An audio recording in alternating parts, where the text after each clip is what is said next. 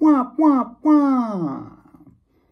What's going on guys? It's George, aka the Big G, and welcome to my channel.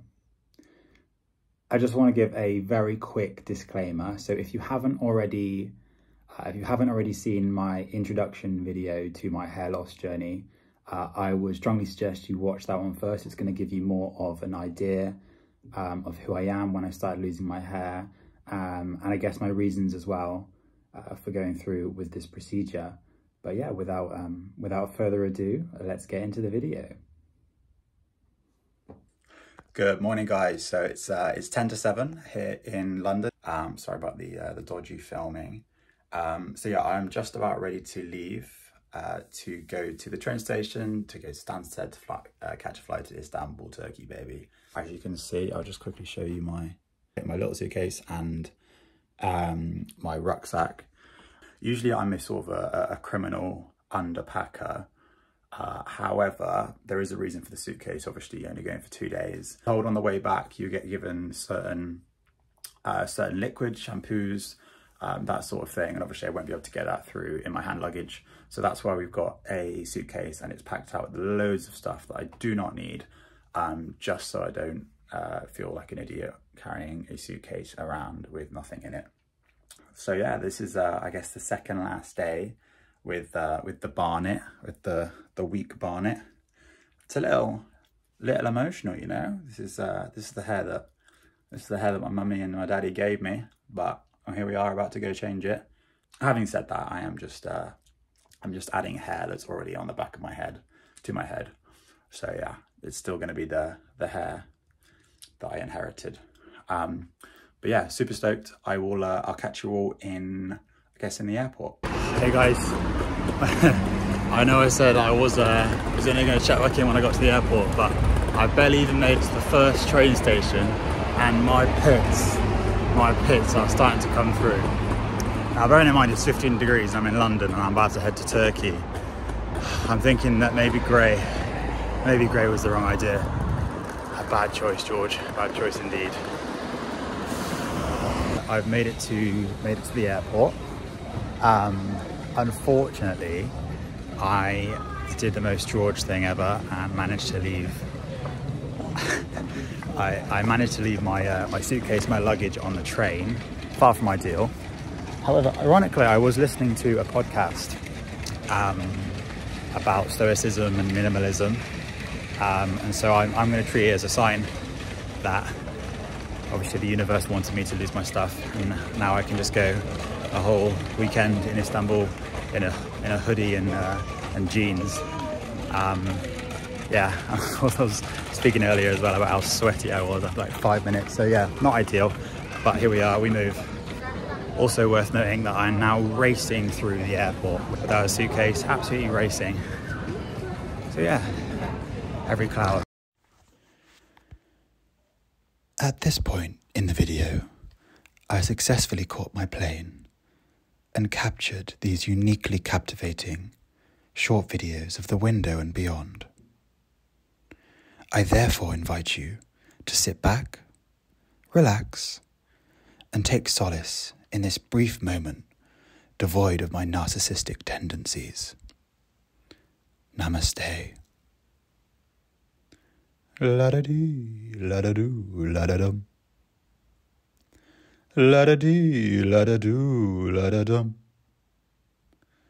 La da dee, la da doo, la da dum dum dum. Da da da dum. We made it, made it to Istanbul. Istanbul! Um, it's actually a relatively, relatively nice journey. Got some bits done. Wasn't sat next to any, any crying babies or really fat people. So yeah, cannot complain. Uh, off to meet the drivers who are going to take me to my hotel, I think, and then I'm going to drop my stuff off and get out and see as much of the city as I can in approximately three hours. But yeah, we're here, baby. Owing partially to my lack of YouTube video experience, but mostly to my being ravenous at this point and having only kebabs on my mind, I didn't get much footage of the room. But as you can see, it was delightful and all included in my package deal with Smile Hair Clinic. I therefore raced out the room, jumped in an Uber, and made my way over to the local mall. where I had not one, but two kebabs. Mm-mm. At the mall, I recorded several videos cringy, aggressive, and even profane videos that added zero production value. I therefore decided to omit them, and the next time you'll see me, I'll have just woken up the day after, testosterone racing through my loins, and energy levels soaring. Morning, guys. So it's about 10 to 7. Um, usually I'd be up by now, but obviously my body clock, um, my body clock says it's 10 to 5. I'm to head down for some breakfast at 7 and I've got to be,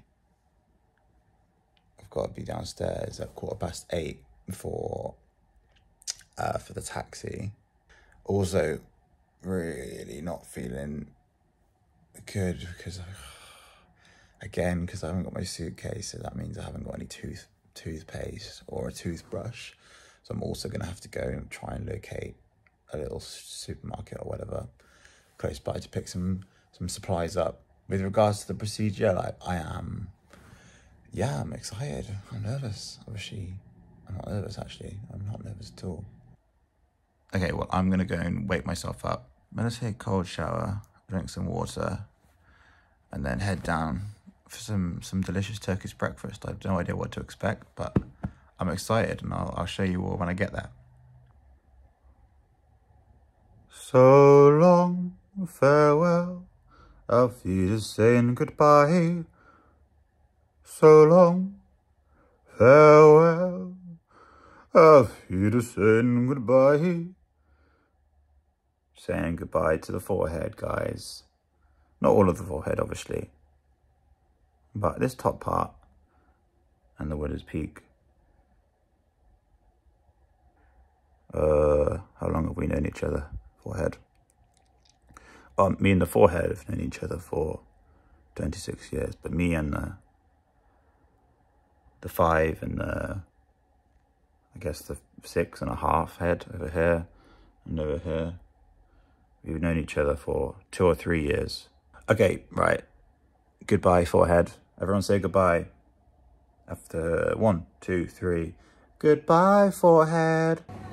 And through to breakfast. It looks like there's quite a lot here. Uh, I'm gonna find myself a seat and I'll show you what's uh, what's on what's on the menu. So we have lots of fruit and veg. Uh, no fruit actually, yeah. But yeah, there was tomatoes, debate that one if you will veg and uh, various cheeses, I believe. Mozzarella, feta, uh, Cecil cheese. I'm guessing that's some sort of Turkish cheese that I've never never had before. I'll be trying that. Um, deal, lots of stuff over here. Equally, you've got some, uh, this is where the, the good stuff is, the cooked stuff. Some scrambled eggs, French fries, tomato sauce. Not sure what I'll be having that with eggs.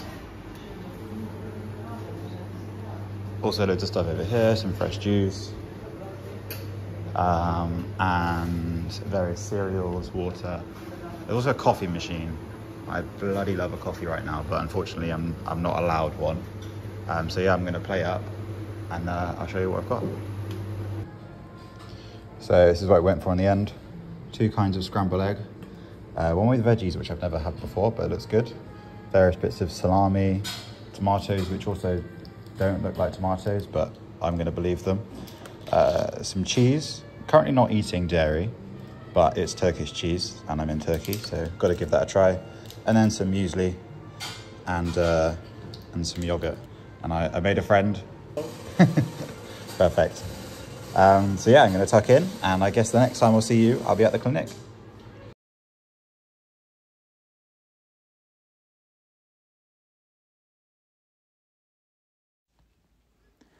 As you can see, the clinic was huge 10 stories, in fact.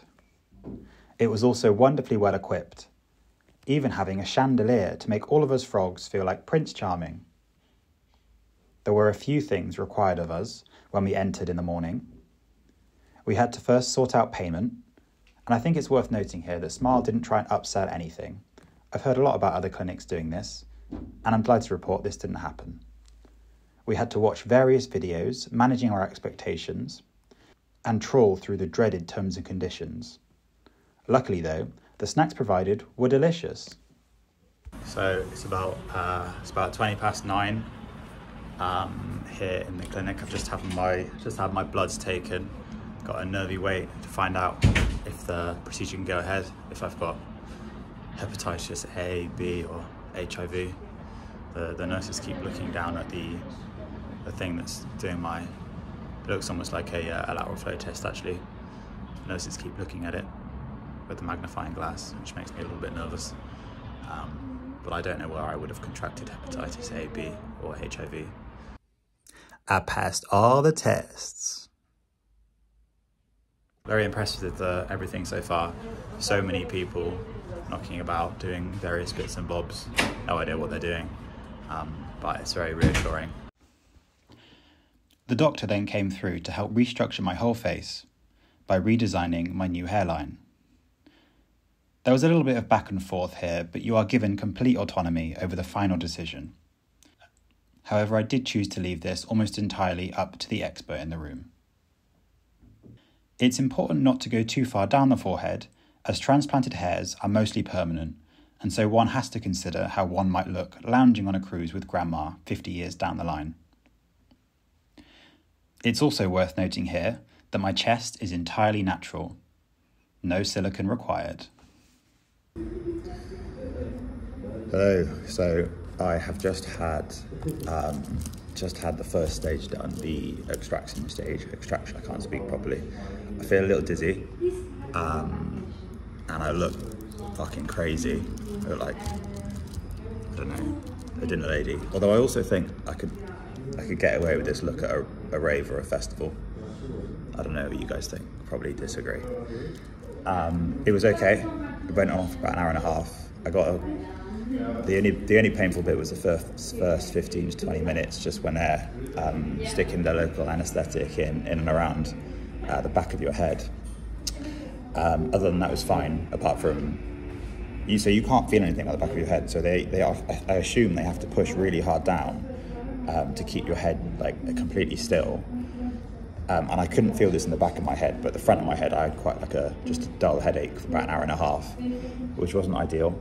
Um, and you can hear you can hear the extraction as well every single time it comes up, and it sort of uh, it reminded me of a Chris Lorenzo song from uh, I think it's called Water way back when, um, which brought up some uh, some bad some bad memories, some bad nostalgia.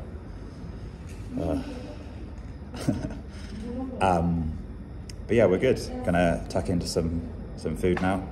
I'm bloody hungry, uh, and then onto onto the next stage of the the transformation. Um, the last part of the procedure, well, the second and third part of the procedure, which basically morphed into one, um, went well. The second part was painless, actually maybe even enjoyable. Um, was so, so weird, like you could feel the um, the needles going into your head, making the tiny little incisions. You could feel them, but you could they didn't hurt. Um, it is it's very surreal having probably one of the weirdest sort of experiences I've ever had being wide awake for six to seven. I think it was actually maybe even eight hours in the end.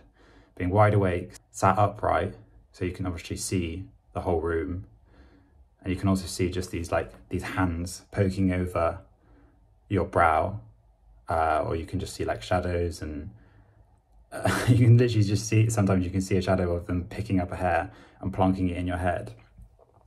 So yeah, very surreal to be wide awake. The third part, um, which was the longest part, uh, the woman who um, did the local anesthetic was like, let me know if anything really hurts. And there was a couple of occasions where it didn't really hurt, it just like slightly hurt. And maybe I should have said something, but I felt like uh, I could brave it. Um, but yeah, the, the last couple of hours, I'd say, was painful. And of course, uh, a lot of drugs. Um, uh, as I said, I was awake the whole time, but local anesthetic was uh, put into my head and the back of my head probably around 30 times, like 30 individual needles. Um, don't quote me on that. And, and also at the end, well, about an hour before the end, um, the, another doctor who I hadn't seen, who wasn't a hair doctor, walked in with a drip. So that was disconcerting, but I think that just that just is, is that was meant to be meant to happen that way, and maybe I missed it in the small print. But yeah, I'm absolutely buzzing. I'll show you show you what uh, what's been done. So in the end, I had 4,000, 4,600 grafts. I'm not sure how many they actually put into the head, um, but I think they used most of them. So I'm hoping that that covers it, you can see. Um, yeah, so my obviously you can see my hairline. Um, I've never had a far forward, uh, a far forward hairline anyway, so it doesn't matter.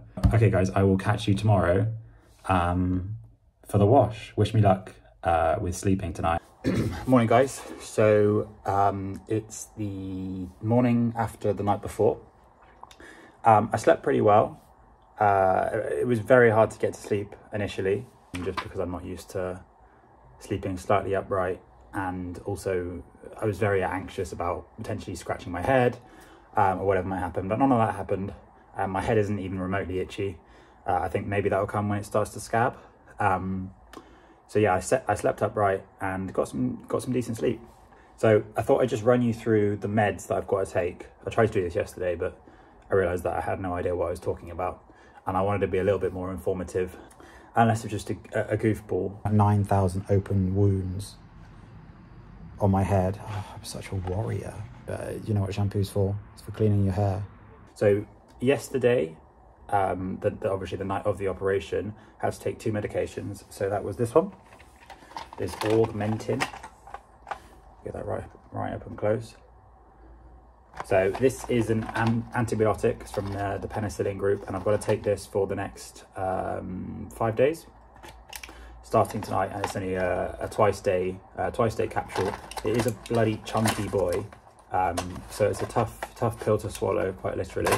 Um, and the only, the other one that I had to start taking this, uh, yesterday evening was Voltaren um, film tablets. It's this one here, and this is an anti-inflammatory. Um, so, so you are very post-transplant susceptible to puffing up. Um, yeah, just like cheeks, forehead, nose. From what I've seen of it, it looks hilarious. And from honest with you, there was a there was part of me that was tempted not to take this because I really wanted to see um, what it came to. But I think that's a a risk that maybe isn't worth isn't worth taking. And there's still a good chance, even with even with these, that I may puff up to a, a decent size, uh, which will still be hilarious, and um, I'm sure will create some good content. So yeah, just these two for night one, and uh, both of them I've got to keep taking for five days. Yeah, so the morning after, you have to start taking um, this Prednol. Oh, dropped it. This uh, Prednol. So this again is an anti-inflammatory, um, which again, I guess highlights how important anti-inflammatories are. Uh, it's also a, cortico uh, a corticosteroid. So you have to take this three times a day, um, today and tomorrow, then twice a day on the third day, uh, and just once a day on the final day. Um, and again, yeah, just to, I guess, reduce swelling. Um, and the, the steroid, the steroid cream or the steroid within the pill uh, tablet will also help um, with aid in recovery and that sort of thing. Of course, I'm going to get on finasteride as well. I've already bought some finasteride, um, and I'll start taking that after about day seven, day seven to day 15, I think they recommend. Um, not sure why, you don't have you can't take it straight away. Uh, but yeah, I will be getting on finasteride, and uh, obviously if you have any questions about any of this stuff, probably finasteride would be, the one that you have the most questions on. Please do let me know. I can't claim to be an expert, um, but I have got living living experience of, well, at least I will have a living experience of these things um, and I can explain to you, you know, whether all these rumoured side effects have affected me. Also worth noting that I didn't have, I was told to put obviously those, those diapers over the pillows um, in case there was any bleeding, but as you can see, um, there was absolutely no bleeding in the night. I'm not sure if that's a good thing or a bad thing, but usually it's a good thing, I'd say. Shortly after that car crash of a medication report, I was picked up by a taxi and taken for a wash, specifically a hair wash. They advised that the first wash should be done at the clinic. There is a good tutorial available on Smile's YouTube channel, so if you have to rush home after the procedure for whatever reason, this is available. As you can tell by my facial expressions, this was a little sore, but as you can also probably tell from my facial expressions, I took it like a champ. I will cover myself doing this wash at home at a later date in a later video when it hurts a little bit less and when I can show you all the scrubs, shampoos, and ointments that are provided by Smile. Obviously, as you can see, it's much cleaner now, much cleaner to look at. Um, I will say that the donor area, so the area behind where they took the, the hairs from, is pretty disgusting. I'll give you a, a little tour behind my head. So as you can see, it's pretty horrible. It is, uh, yeah, not enjoyable to look at. There we go, that's better. But yeah, the actual top of my head I think looks okay. Um, obviously not how I want it to look and not how it will look anytime in the future. Hello guys, how are you doing? So as you um, as you can tell by the uh, by the decor of the room I'm in, probably can't tell, I am back in the UK. So it's the day after um, the day after I got back. I got back at around twelve o'clock last night. Uh, obviously went straight to bed, and then um, woke up this morning at about five o'clock just because of the time difference. But managed to get back to sleep. Got back to um, got up at a normal time in the end. So um, I have washed my hair. So yeah, stay tuned and, and look out for that in the next video. So before I left for Turkey, I think I had in my head, um, I had in my head that I was going to sort of be a hermit crab for the two weeks following the procedure. Um, just because I thought, you know, I was going to be very, I don't know, ashamed or embarrassed about how I looked. Um, but I think this morning or last night at the airport, I didn't, I felt actually, I felt very empowered. I felt um, very good about myself um, and my decision. And it doesn't look that bad at the moment. I know it's going to get worse before it gets better.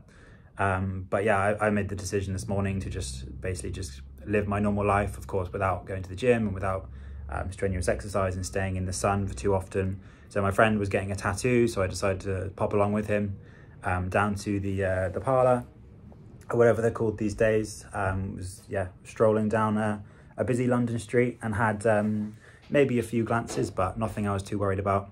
Mm, I'll probably wrap things up here. Um, thank you for joining. So one final thing, if you have any questions about anything, anything uh, from the procedure, um, about the clinic, uh, about my sort of my experience with the aftercare so far, um, yeah, please don't hesitate to put them in the comment section um, or drop me a message on Instagram. I will leave my, my Instagram below. And also, yeah, if you are if you are looking to go to Smile, uh, I'm also going to pop a link below um, for for the clinic. As I said, I cannot I cannot recommend them enough. I've had a great great experience, great couple of days, um, getting to know all the lovely people there, um, and also um, I'm very happy with how currently the uh, the lid is looking. Obviously, we've got a long way to go, but yeah, I'm uh, I'm very hopeful that I'm going to be very hopeful that I'm going to be able to be looking back to my dazzling best um, in not too long. So if you've enjoyed this video, please do please do drop a like, a comment, um, and also hit that subscribe button as well. Because as I say, I'm going to be um, bringing you updates for um, probably after after two weeks. Because um, I think one week might be a bit too soon, uh, and then month, and then probably every uh, every month after that.